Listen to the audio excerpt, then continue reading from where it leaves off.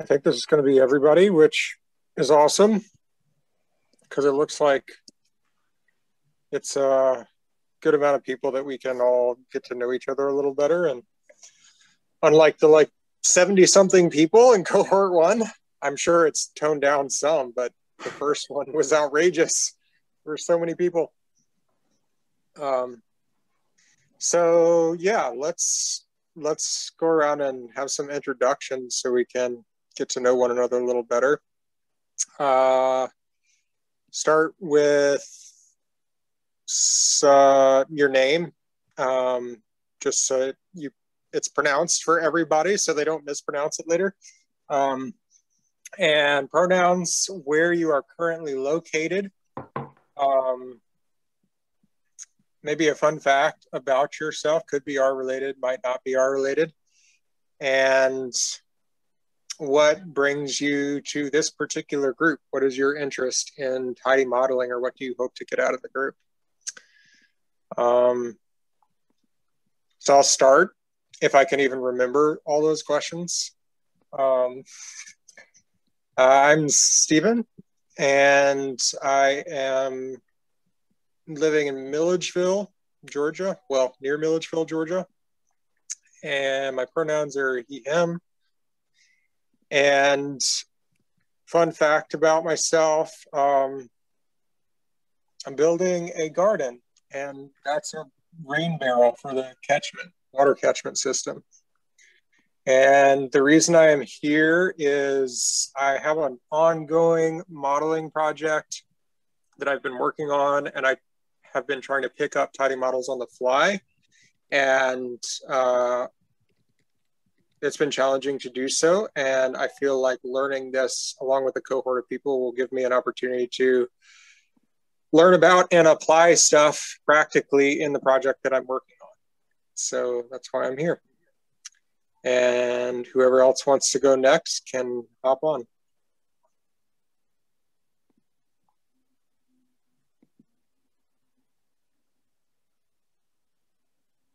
I'm happy to go. Uh, so, hi everyone. So I'm Luke. Uh, my pronouns are he, him. Uh, I'm in Bristol, in England. Um, I don't really, I don't really have a fun fact. My name, I kind of had a fun fact thrust upon me recently, in that there's a famous soccer player called Luke Shaw. So in England, most people open with that when they see my name. So I have lots, lots of discussions about Man United and stuff, which is all right.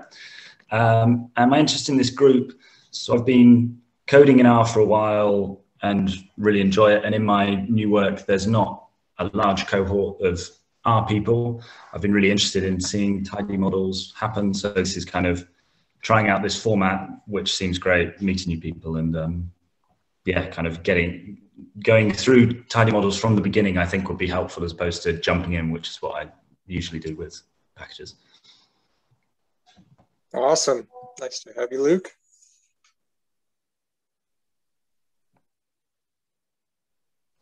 I can go next. Um, my name's Kevin Kent. Uh, I live in Boston, Massachusetts, um, U.S. Um, uh, he, him with pronouns. Um, uh, sorry, kids in the background. Um, and uh, so where am I? Uh, fun fact about myself. Uh, I'm a big tennis fan, and the Australian Open is starting, so I'm excited about that. Um, and I'm here because uh, yeah, I love data science stuff, and um, uh, I kind of was taught a lot of the machine learning stuff in uh, Python, like with scikit-learn, and uh, that's like kind of what I fall back on uh, whenever I need that kind of thing. But I like R a lot more, um, and I've been using tidy models models a little bit in my work, and so I'm excited to kind of fully get into it now and uh, learn from all you. So cool. Thanks for coming Kevin? I can go next. Uh, hello, everyone. Roberto here. Uh, pronounced he, him. Uh, I'm originally from Costa Rica, but right now I live in the UK, in Reading. Um, fun fact, I used to brag that I was the top five, in the top five uh, Costa Rican Nordic skiers, uh, cross-country skiing, which I'm sure that's not true because well, we don't have snow in Costa Rica, so I guess it's debatable. Uh, uh, I'm, I'm, I joined this cohort because I've been doing um, R for some time now, and that's mostly what I do at work, but not much modeling. So I would like to learn a little bit more and get into uh, modeling myself. Yeah. Nice to meet everyone. Awesome. Nice to, nice to have you. Um, yeah, well, I will hop on. So uh, my name is Carmen. I am from Mexico, but currently I'm living in Lisbon. And I've been coding like very recently, mostly because of the pandemic. And so as you said in the beginning, like I tried uh, doing Dataquest and that kind of uh, web page, but I find uh, better to use these books about I don't know, R in data science or this one for tidy models. So I'm eager to learn here. Like I'm actually maybe like a beginner level, but I'm I'm quite quite interested in this. Uh, for uh, uh, by the way, I'm a biologist and I'm doing a PhD, and I'm working with a huge amount of data because this uh, NGS thing. So that's also why I want to learn. Interesting. Nice to have you, Carmen. Okay, I may as well go. Um, my name is actually Graham, not August, uh, but August is the mocker I use online. Um, it's a reference to Augustus Comte and Karl Popper, who uh, famously had a debate about uh, positivism and um, objective um, uh, science, um, which is nonsense, really. Uh, but like, you know, it's just a way of using a name online that I prefer not to use my own. Um, I go by he and him and uh, I'm in Sheffield in the UK, next to Peak District. Uh, I'm not really sure what a fun fact would be about myself. Um, I used to be a neuroscientist, um, and now I work in demand forecasting, so I do a lot of modeling.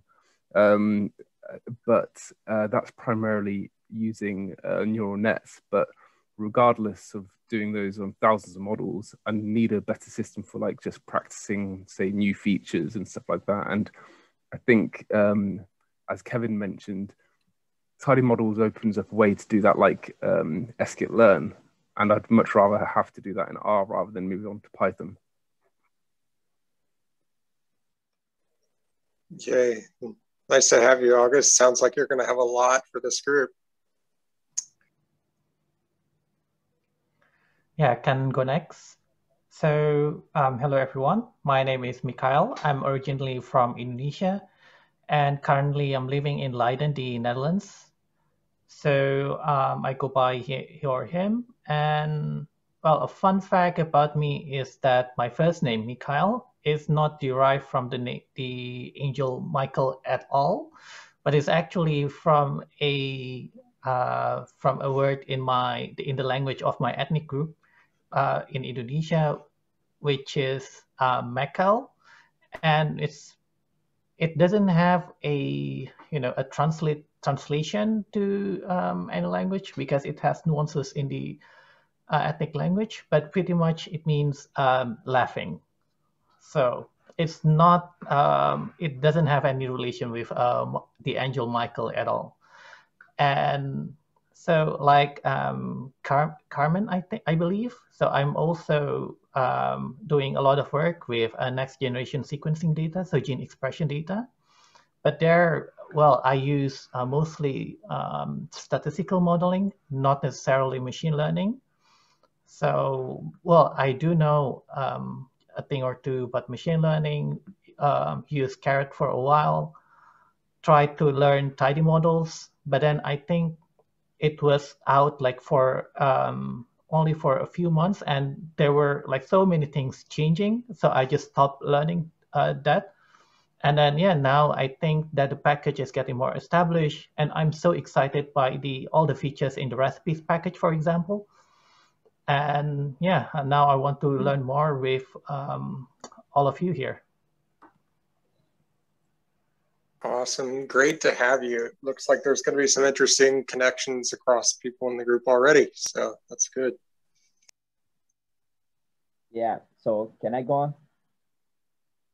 So uh, my name is Shamsuddin and I'm from Nigeria. but I'm graduate student currently living in Porto, Portugal. And I'm working on natural language processing. And why I'm doing this, I've been working with Python, but um, my uh, graduate supervisor mainly works in R and he forced me to also work with R. So it's good. Um, I mean, uh, I also work with Python, but uh, for him to understand some stuff, I need to do it in R. And uh, so I'm quite somehow bilingual. So that's why I'm here to learn more about R. Yeah, thank you. Wonderful to have you. Thank you for coming. Yeah. Okay, I'll go next. Um, hi, everyone. Okay, um, I think- Amelie. Oh, sorry. You want to go, Hannah? Go, go. Okay. Sorry. I'm sorry. Um, so I'm Amelie. It's pronounced like in the movie. Um, if you've seen it, it starts it's starting to be old now. Um, I'm French, but I've been in the UK for 12 years now. Um, and my pronouns are she, they, and fun fact about me, I was once in stage for one song with Pink Martinis, a band in Birmingham, UK. And I'm here because I'm a behavioral scientist by training. I do academic research in psychology, but I'm also doing a MSc in data science right now to improve my coding and, and uh, data skills in general. And in my MSc, we're probably going to do modeling more towards Python this term. So I thought that would be a nice complement. That's awesome. Thanks for coming. Sounds like you're going to be absorbing a lot over the next few weeks.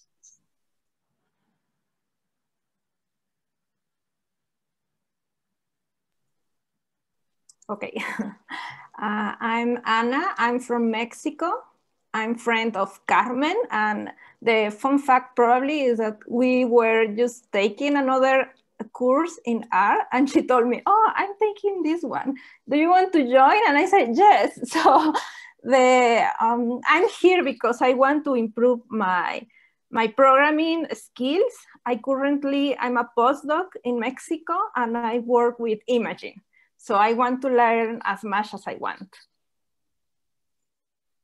As much That's- as I can. That's awesome. Thanks. Well, Thank uh, it sounds like some of us are already connected too. And there's a pretty large cohort in the UK, in Mexico, and uh, Portugal. We got people from all over the world. This is very cool. And we're all going to be learning together. Now, let me see. Did we miss anyone? Has everyone had a chance? No. One more. Layla. Hi. Um, so my name is Layla. Um, I, uh, she, her. I am currently right now in Georgia. I'm in Conyers, but I actually live in Miami. Um, so I, uh, fun fact about me is I consider myself a step above a wine enthusiast. So, uh, I've actually taken courses and have a certific- certificate on wines. So if anyone wants to talk wine, let me know. Most likely we'll use what I gather from tidy models to play with wine data. Um, and why I'm here is because I work in academia, work for the University of Miami, and uh, most of, uh, not most, all of my teamwork teammates or colleagues are faculty. And so when it comes to doing the fun stuff aka modeling i don't get to do any and i get fomo and it pisses me off. So i'm going to uh, do my own try and um, uh, do my own work uh, outside of uh, the very nice and generous faculty i work with and uh, but unfortunately, given my workload and uh, random other things that pop up, um, I need to be held accountable. So here I am. Feel that for sure. Thank you for sharing. Welcome. Okay. And nobody has joined since then. All right. Wonderful. Yeah, there is definitely some great wine data sets out there. And as we, people sign up for chapters, I posted it in there. Uh, feel free to use whatever data you want. If you find uh, some data that you are using more interesting than the data that the chapter is using, by all means, uh, use that to make examples for us. Um, I do want to take a moment to say that if you do see John, John the Geek is his uh, alias in Slack. Um, thank him. He does a lot of behind the scenes work as well as Tan. Uh, Tan runs the GitHub. John edits these videos. If you miss a session, uh, the sessions are recorded. And I think they're actually going to be posting them in line in the uh, R4DS tidy modeling with R um, like example booklet. So you'll find that on the GitHub for R4DS, the tidy modeling with R, they're building a bookdown book. And so instead of individuals creating uh, individual like power, they're, they're not really PowerPoints, but the um, like xaringan presentations, they're actually encouraging people to download the uh, cohort one bookdown and fill it out, elaborate it, add examples, and generally just improve upon what is in there such that uh, it's more accessible and understanding. And it sounds like we have a really bilingual group here.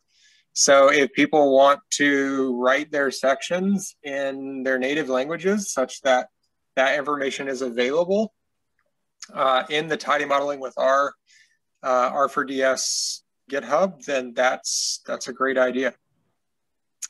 So that being said, does anybody have any questions about what is going on? Did everybody get the, the chat message? Do those come up even after I sent it when people join?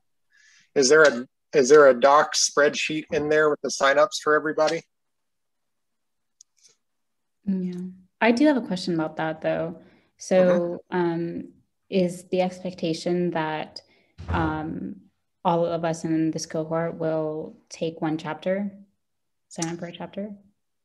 Uh, it's not expected, it's voluntary. So if you have the time and the volition to sign up, then please do so.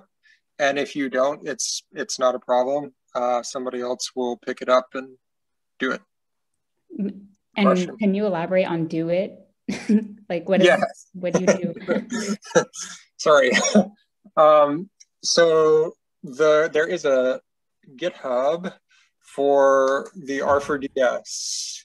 And in just a moment, I'll give a like short presentation for the first chapter. And I, I downloaded the, I, uh, what is it called? I forked the repository and just built on top of what cohort one uh, provided. And I just added examples, provided stuff to clarify statements that I felt weren't well elaborated enough. And I'll present that in a moment. And so that's generally what you will do if you decide to sign up uh, is you can fork that repo and kind of build out examples and um, build off of what is in the TMWR book and what is in the GitHub repo to create a demonstration for everybody that you feel will enhance their ability to absorb the material well. So let's okay. do it. okay. Um, and then so if so if I were to sign up for one and fork the repo, make some modifications, do I so I'll is it like standard where I will, you know, submit a pull request to the original one and see, like, I don't, I don't know who moderates it. And if this, if what I fork includes any modifications from cohorts two, three, and four, because I think this is cohort five. Um, I'm not sure. This is cohort two, actually, for TMWR, for the tidy modeling with R. Sorry, I'm thinking about advanced R. That's another one I'm gonna sign up for. Sorry, guys. Yeah, no worries. Yeah, uh, yeah, they're on five or six now uh, Yeah. with Advanced R. Um, yeah, Advanced R, for folks who have done um, some of the other who, who are maybe new to the R verse. That's another book by the uh, Tidyverse team. Um, and there's ongoing cohorts. If you are interested in that, you can sign up on the channel associated with the name uh, Advanced R. And that is more uh, like xaringan presentations that people create for each chapter. Uh, whereas with here, they're trying something different and creating a bookdown and, and encouraging people to enhance the material with each subsequent cohort. Um, did that answer your question? Yeah, it did. Thanks. Okay, cool. And yeah, the the GitHub is posted in the chat. And uh, as far as what to do when you have finished it, uh, yes, you'll just make a pull request back to the uh, TMWR R4DS book club. And Tan and John are the moderators, and they'll approve it, assuming it all checks out, or they'll ask you to, you know, change something. I guess I've never had them do that, so I don't know. Uh, but I would assume that that's what they will do if there is something that they think needs clarity or whatnot. Any other questions? How's um, I'm, I assume this meeting time is good for people moving forward. Uh, if there are any people who know they're going to be gone for a long segment, um, I guess the videos will be there for you. That also being said, uh, reminds me that if you do sign up for a chapter and life happens and you are not able to present that week, as soon as you are aware that there might be an issue with being able to present that week, just uh, send a message in the channel.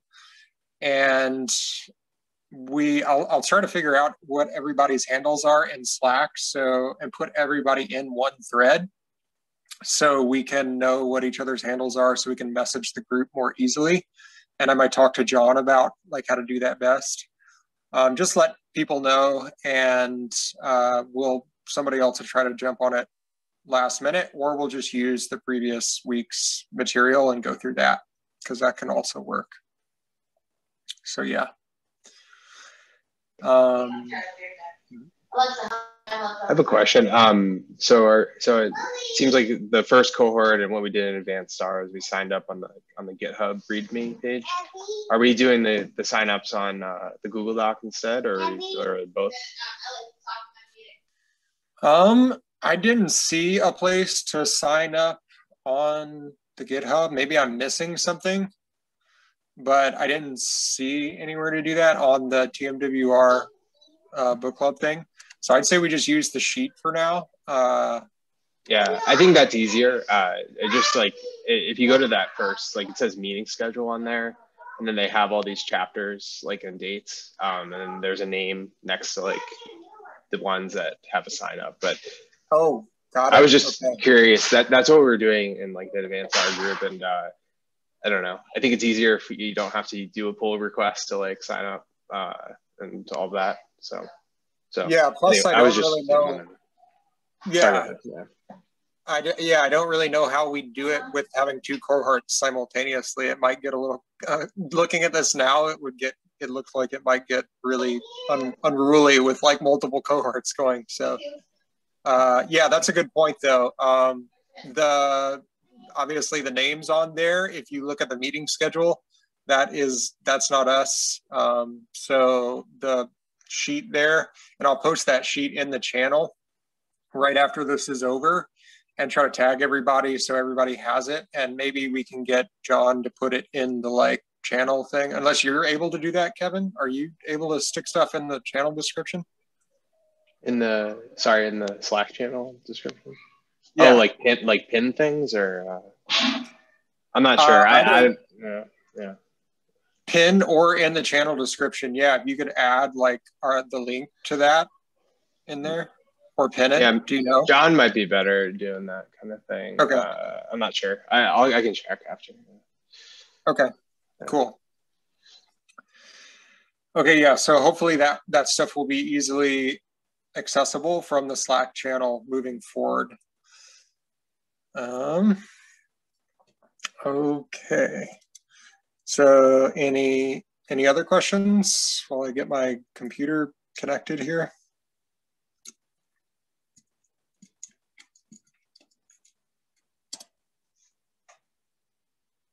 Okay, well, awesome. And if any questions or you have something to contribute when I'm going through the presentation, or you're like, that's not right, you should fix that, don't hesitate to speak up and let me know. Um, it's definitely meant to be a space where we are sharing ideas and actively collaborating.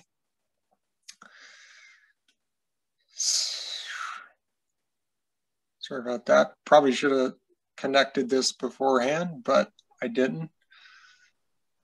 So, I have a question. Um, yeah. Do we have a, a specific kind of length of time that we're aiming for in terms of how long each session is?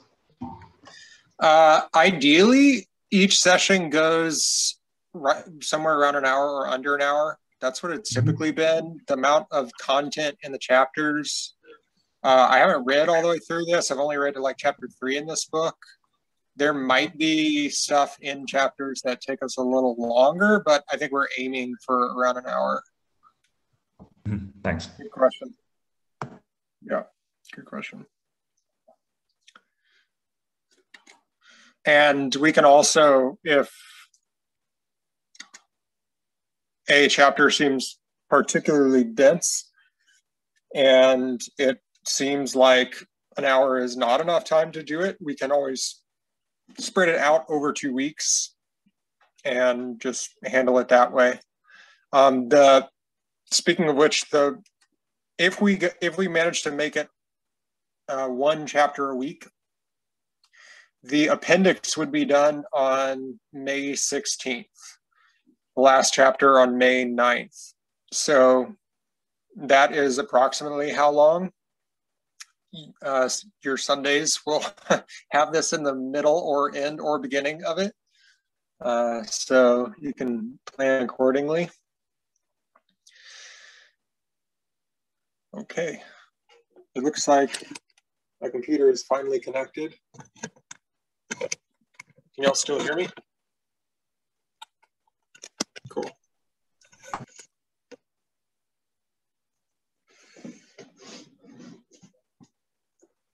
All right, share screen.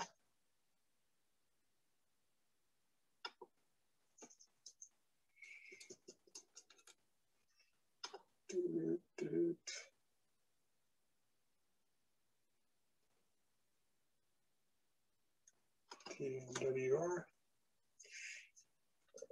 I am not sure. They might have actually put my pull request to the repo already.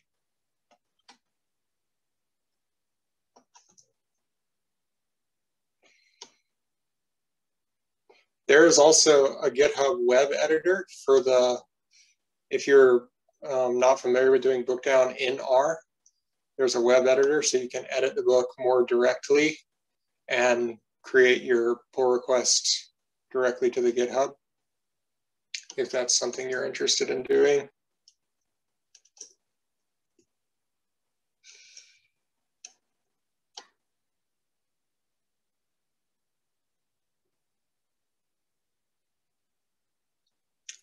Oh, interesting.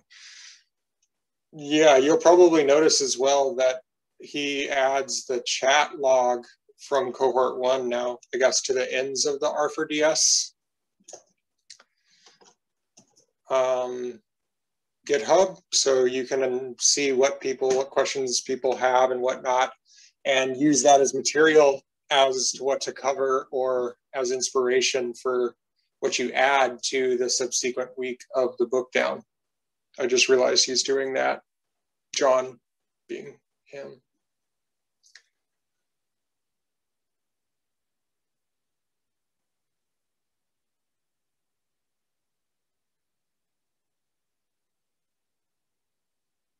and I have the slowest R session ever.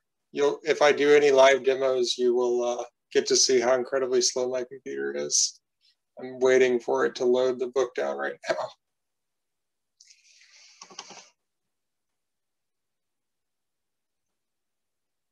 Okay, cool.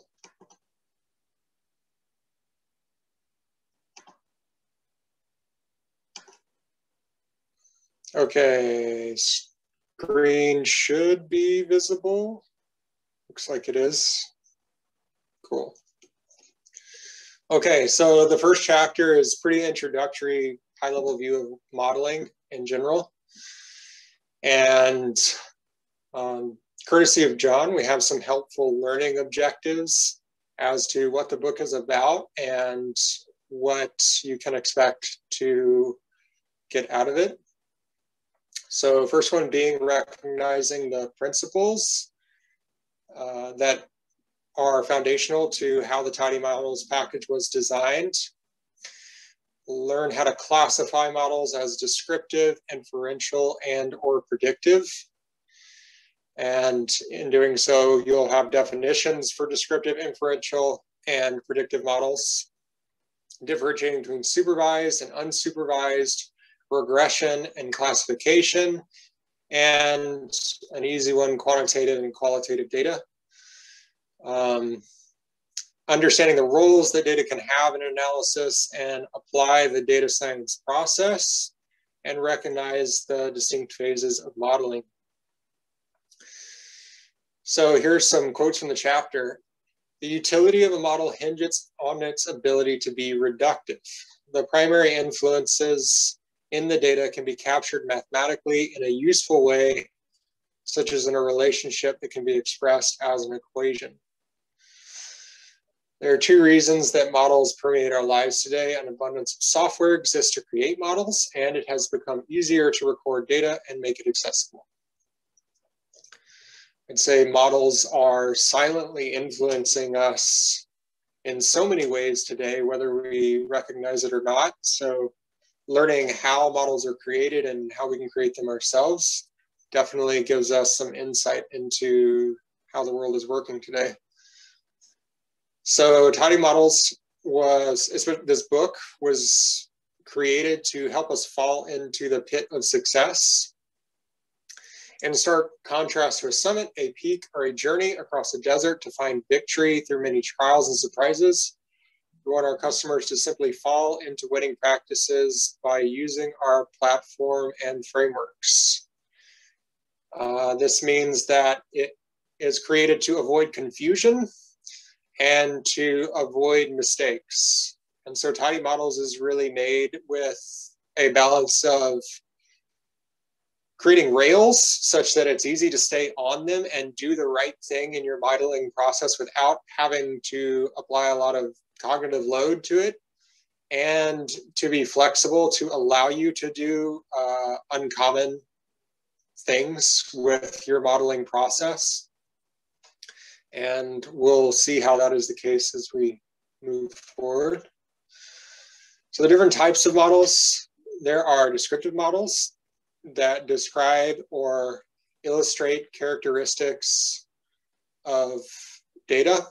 There are inferential models that make a statement of truth regarding a predefined conjecture or an idea.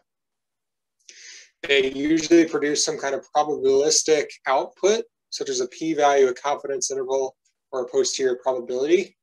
It sounds like there's a number of people who are using statistical modeling of this nature already. So these terms should be familiar. And if something is not familiar and the explanation that I'm giving is not adequate, please don't hesitate to just speak over me and uh, so I know that there's a question and we can attend to it. Um, usually delay feedback between the inference and the actual result.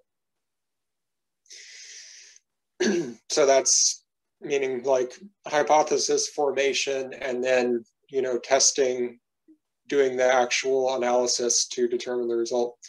Predictive models produce the most accurate possible prediction for new data, uh, trying to estimate how much rather than inferring will it. There are mechanistic models.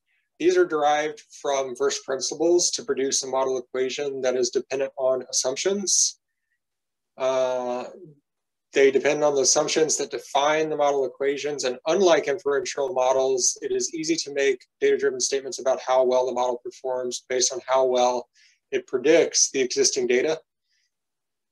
There are a number of biologists here, so a good example of this that might be relatable is mechanistic models of the heart, blood, arterial pressure, and volume of blood that the heart pumps. Those are well defined uh, based on you know characteristics that can be measured, and they're they tend to be mechanistic uh, because there's a lot of similarity between the way different hearts pump blood. So empirically driven models have more vague assumptions. They're derived directly from the data. Uh, there are no theoretical or probabilistic assumptions that are made about the equations or the variables. Um, and I want to like qualify that because there are like ge sometimes general assumptions of like the particular modeling process that you use. Um, this is more meaning like they're theoretical and probabilistic assumptions that aren't already made about the type of data that you're uh, looking at.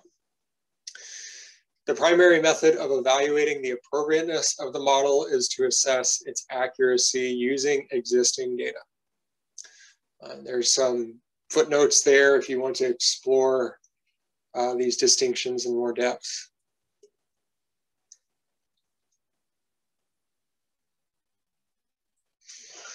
Okay, terminology.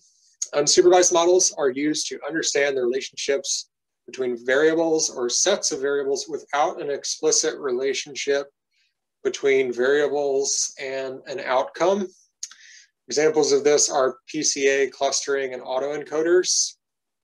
I don't know if this is a good example, but one of the um, examples of this that maybe some of you have encountered is if you've ever run ads on a social media platform like Facebook, there are often like clusters of user types that you can pick to run ads to or anybody in advertising, clustering is often used on large data sets in an unsupervised way to understand like affinity groups within a particular like set of consumer preferences. So supervised models have an outcome variable. Uh, examples are linear regression or neural networks. It's very clear what you are trying to predict. And the nature of what you're trying to predict might be numeric, in which case it would be a regression model, or it might be a qualitative, ranked, or just categorical piece of data, and that would be a classification model. Um, yeah, quantitative data, numbers, very straightforward qualitative, nominal data non-numbers. Uh, what might not be so straightforward about these is thinking about how data is best represented.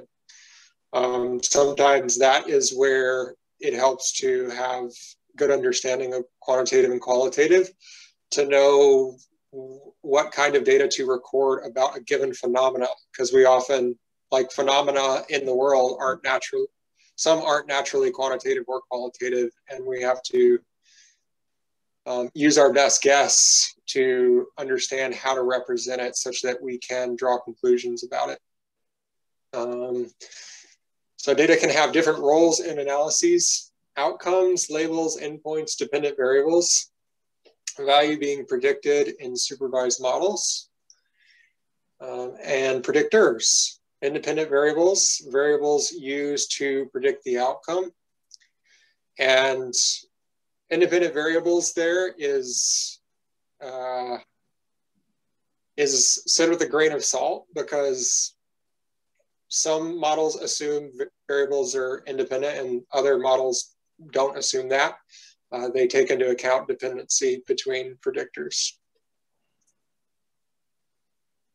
Or try to, at least. okay, so the data analysis process, uh, cleaning, which I'm sure many people are familiar with here, always the most fun of any of the parts. Uh, making sure the project goals are accurate and appropriate is a part of that, uh, which is often comes to social and um, kind of like, what is it called? Emotional intelligence or like business acumen, asking the right questions and determining like what data is appropriate and how that data needs to appear in terms of its veracity and also volume, like how much of it is needed uh, to really make accurate conclusions about it after a modeling process. Uh, and involved in that is understanding the data, having uh, some knowledge depth or consulting somebody who has depth in the field uh, to understand uh, where the data come from, what they mean, and is it is the data relevant? Uh, these are always good questions to ask. Sometimes it's easy to get myopic when we have a data set presented to us or we have a server that we're just going to go and you know pull data off of and try to answer a question and it's important to be able to ask questions about that data and is it the appropriate data to to answer the questions that are being asked um, develop clear expectations of the goal of your model and how the performance will be judged. Uh, and this often involves, you know, consulting stakeholders and having a clear idea of what the a successful model would look like. What is the performance metrics or realistic goals that can be achieved? And here's the data science process figure here, transform, visualize, model, there's also, I'm not presented there, but coming between model and transform, I think would be evaluate, uh, which is often what makes that process cyclical. Is we transform data, we visualize it, we model it, and then we evaluate the, the accuracy of the model. And that can either lead to communication or it can lead to starting over again and uh, coming in with a different set of assumptions or better data to better uh, model the data and have a more accurate, you know, evaluation.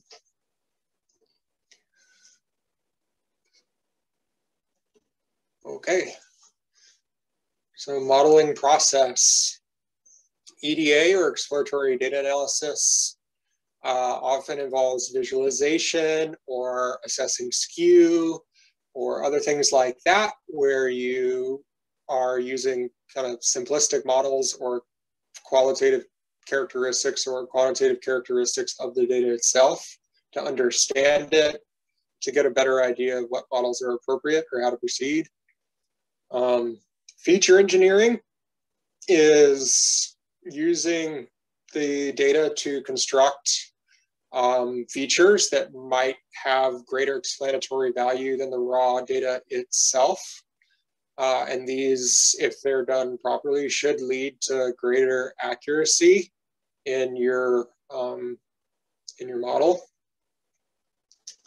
Uh, these are, you know, often derived mathematically or by binning or um, transforming particular features of the data, raw data. And then model evaluate, or sorry, model tuning and selection generating a variety of models and comparing performance. Uh, some models require hyperparameter tuning. Uh, in the case of machine learning models, uh, the type of types of questions that are being asked and the nature of the data being either extremely large or extremely complex doesn't allow us in some cases to have really good intuitions about what types of parameters would be appropriate for fitting a model. And so we fall back on computational power to run through many, many, many different combinations of parameters to hone in on the parameters that are most appropriate to accurately represent that um, or to accurately model with the given type of model one is using. Um, model evaluation. Uh, we use EDA-like analyses on residuals or whatnot and compare model performance metrics to choose the best model for the situation. Um, the caret confusion matrix, uh, which I heard caret mentioned earlier. Caret was the predecessor to tidy models, but the con Caret confusion matrix was a really excellent tool for model evaluation. And uh, it exists in a new form in tidy models. And so that might, from there, it might lead on to communicating or presenting results of the model or deploying the model as it may be, or it might lead back to EDA or initial feature engineering, or even back to data collection if that is what is necessary. Stephen, I have a question. Yeah. Um, well, I have two kind of. Um, so this might be a little bit premature, but for feature engineering, um, maybe you might know. So you mentioned that it's a good idea to, it's a step prior to your initial model to uh, probably select features that might enhance your accuracy of your model.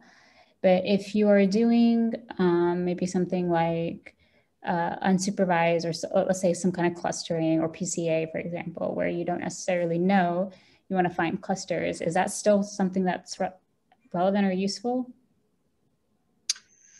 Uh, PCA and clustering are often used as feature engineering techniques, actually. So um, often, yeah, that you don't really think, yeah, I don't I don't know if somebody else may be able to answer this better, um, but I think typically PCA and clustering the unsupervised approaches are going to not need feature engineering and are rather going to be used as feature engineering things. I don't know if anybody else can speak on that with more.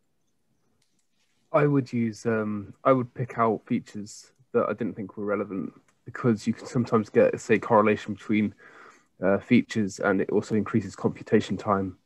So um, when you want to um, do something like a clustering analysis or PCA, sometimes the best thing to do is to work out which things are useful and which things aren't, which you already have.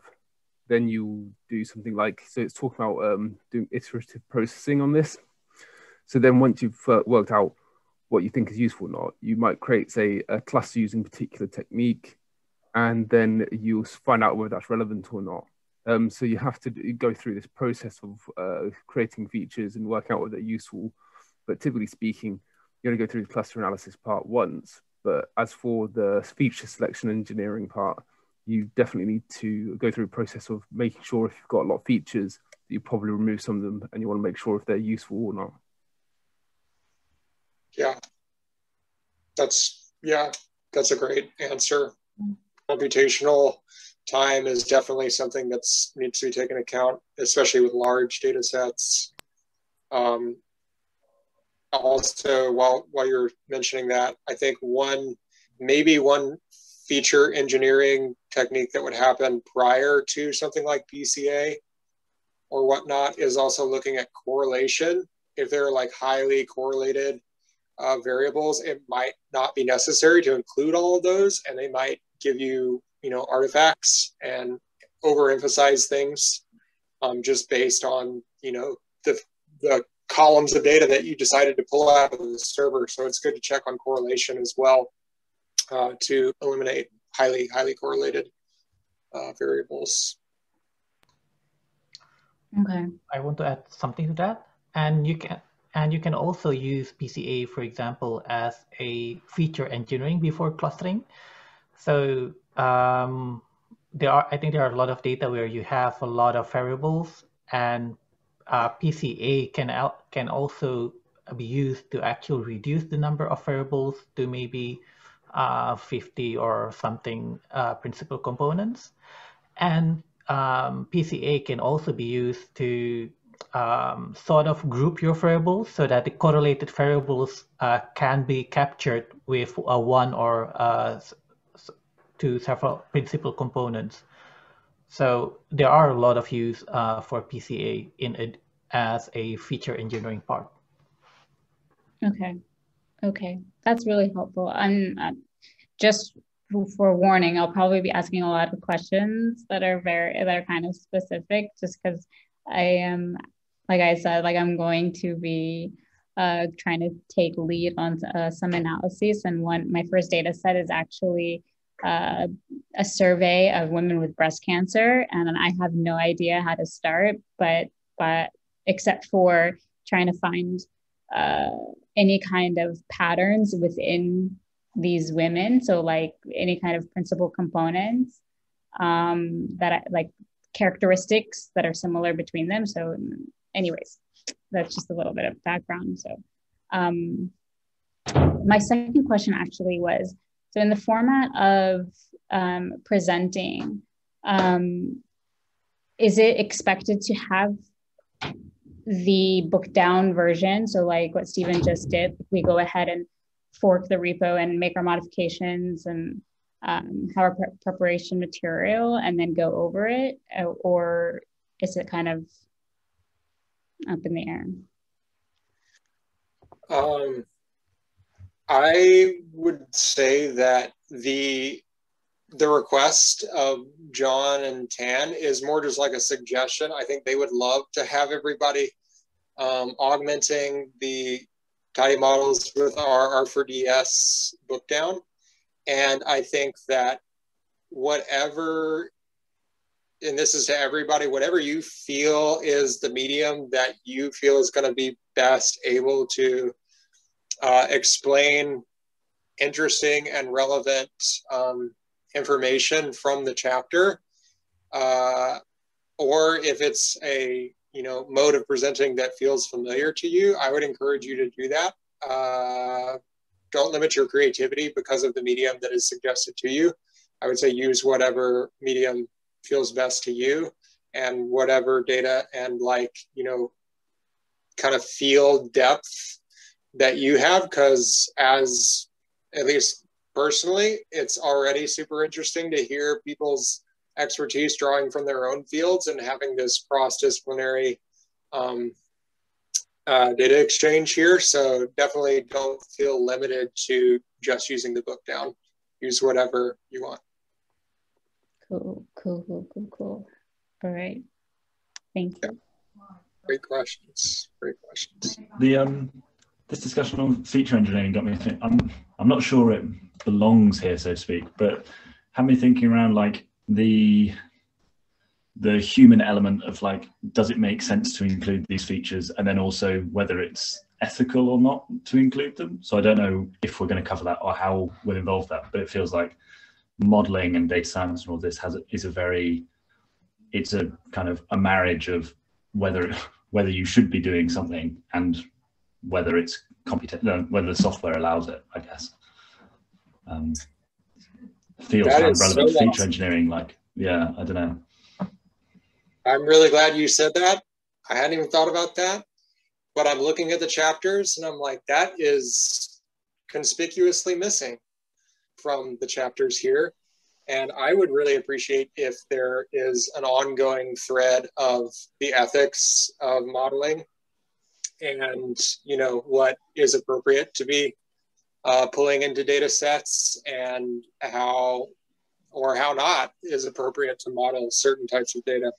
So I think that's a really great addition. And I, I really hope that we have some, some interesting, you know, topical information from different people's expertise fields as to, you know, how they grapple with questions of ethics in modeling and in um, data science. That'd be, that'd be wonderful. I actually second this and I welcome anybody um, that wants to collaborate um, because I am actually in the in the study that I, I previously mentioned.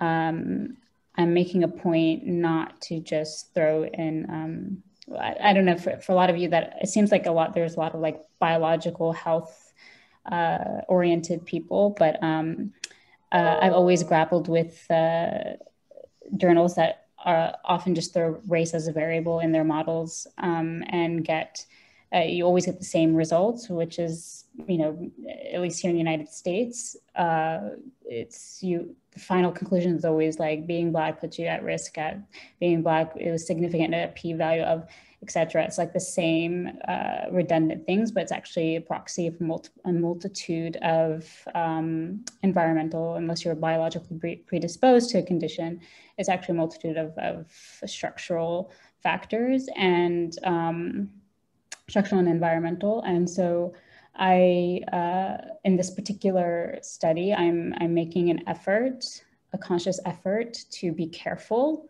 on, on this, though I'm not like, this is a learning work in progress. I don't know how to deal with um, I don't know how to how to be the most uh, the least biased and most ethical in modeling because also I'm still new to modeling. So um, I welcome anyone that wants to collaborate.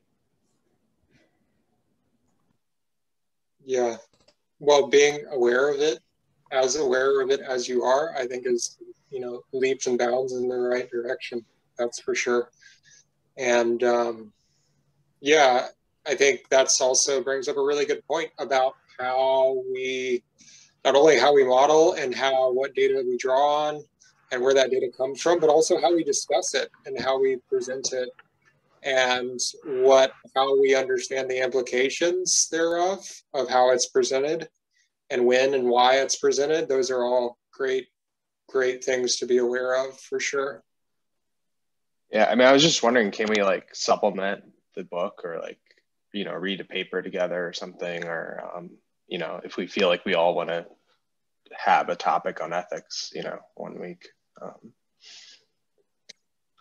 that sounds like a great idea. Um, yeah, I invite you to modify the schedule, or maybe maybe send out a uh, like a When2meet or something like that, a doodle or something, and see if people want to put in a a day somewhere in there to have just like an ethics day and discuss that specifically, add that into our our chapters as we go along. I think that'd be a, a great idea, especially even earlier on, such that it becomes a, a thread as we move throughout the book. Because it'd be good to have that as a, you know, an aside as we discuss the different topics.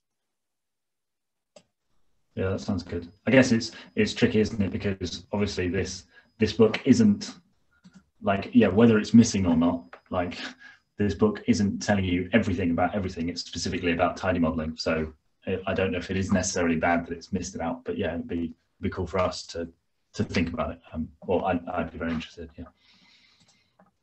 Yeah and honestly i think um, Tan and John would probably welcome that if we if we wanted to even add a section on the R4DS version of it they'd probably be down with that.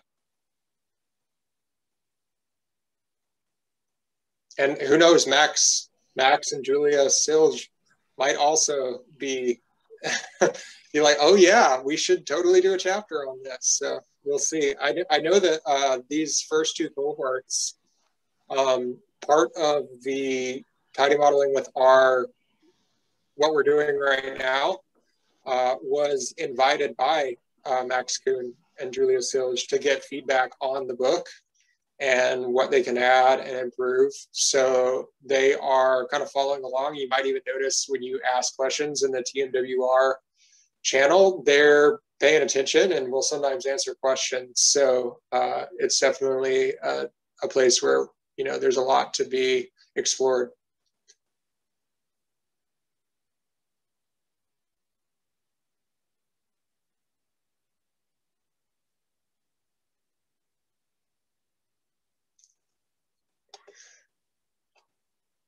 Cool. Did anybody else have any questions? Who is who is talking about like where do we put the put put a potential chapter? Was that Kevin or was that Luke?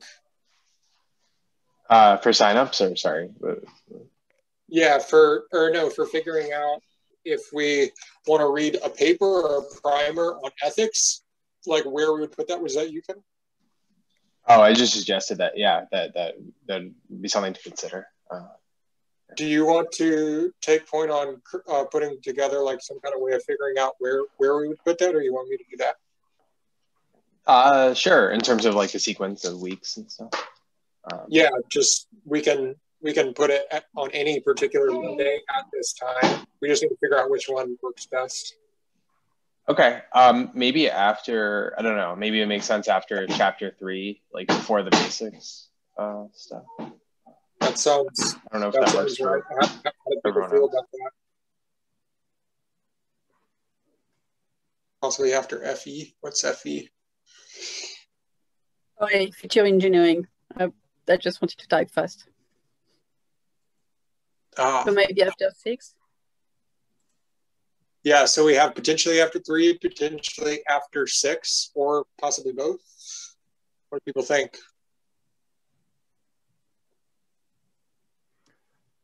I think it's best just after six because six is about feature engineering, and when you talk about ethics, you typically talk about what you bring into a model. Um, so, so, if you talk about features, then once you've talked about the features, you then caveat that afterwards as to what it is that goes in, because that's what reminds you is the part just before the modeling. Okay. Does anybody is anybody um, opposed to having it around like before or after six? Before six or after six? What were you saying? What did you guys think? Was it? But were you saying before six or after six? I think both uh, Graham and me after saying after. After six. Okay. All right. Uh, I, don't think I can do the poll thing. If anybody, let's just have a show of hands. If people think after six, just hit that little like hand thing or hit one of the things that, you know, shows the little thing pop up on your camera and I'll try to pay attention. Seems like two. Okay. It seems like most people are, are down with that. Okay, so I'll, I'll adjust uh, the spreadsheet accordingly. We'll have a data thing, uh, a data ethics day there. And if people have papers that they want to recommend or suggest, uh, as soon as I get a thread or whatever up in the Slack with all of us in it, we can, uh, you know, throw that stuff in there and figure out which ones we're going to read and be ready to discuss for that particular week. Yeah, I think it should also, that's a good spot for it as well, because we'll already have some talking about the Ames housing data, um, which I think is, uh, you know, will also prime some discussion on that topic.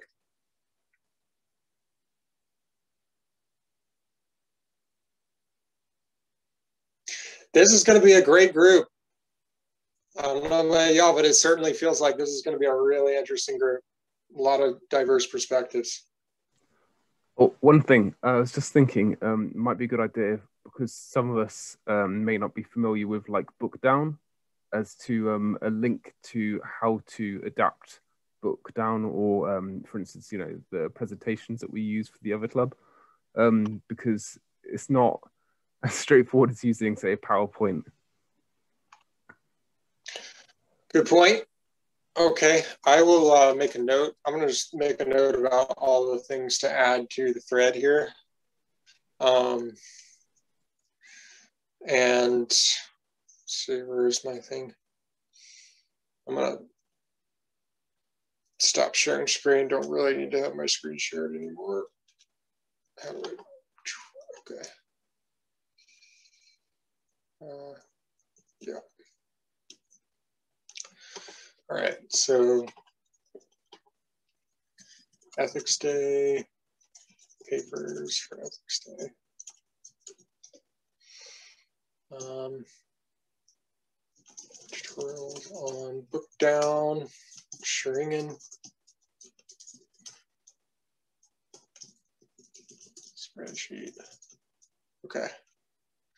All right. Does everybody feel ready to go out there and model? Just kidding. Uh, this chapter is really like not super substantive, but it definitely, I think, created some some good discussion. And next week is a Tidyverse primer. Uh, so for folks who aren't familiar with the Tidyverse, that'll be a nice introduction to kind of syntactical nuances of the way the Tidyverse works, which fortunately for our coders, you know, Tidyverse is very cognitively simple. It's very easy to understand Tidyverse code, and that's one of the things that makes it so popular. It's quick to absorb and understand what it's doing. Um, let's see, do we have anybody? Yes, Kevin, awesome. Thanks, Kevin. Sure.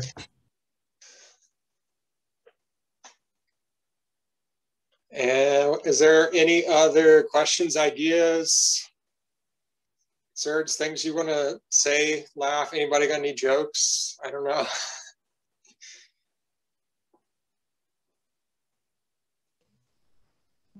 No jokes, but just but just say yeah, looking forward to it. Um, so yeah, agree with you, Stephen. Should be good. Cool. Yeah. Well, uh, it looks like people putting some notes here. Okay, they're just letting us that. All right. Yeah, I see everybody's in the sheet, so um, we'll gradually fill these out, and I encourage I think it's if if you have something you feel like, oh, I'm kind of drawn to that, but it feels too hard. That's probably a good one to do because you'll learn it far better by trying to figure out how to learn it and present it uh, than um, just reading it. It's definitely a really nice learning opportunity to figure out how to make it absorbable for others. Yeah. And you can ask questions as a presenter too. So you don't have to you don't have to know everything. Uh, yeah. Exactly. Exactly. All right. Well, thanks everybody for tuning in on Sunday. Excited to explore this material with y'all.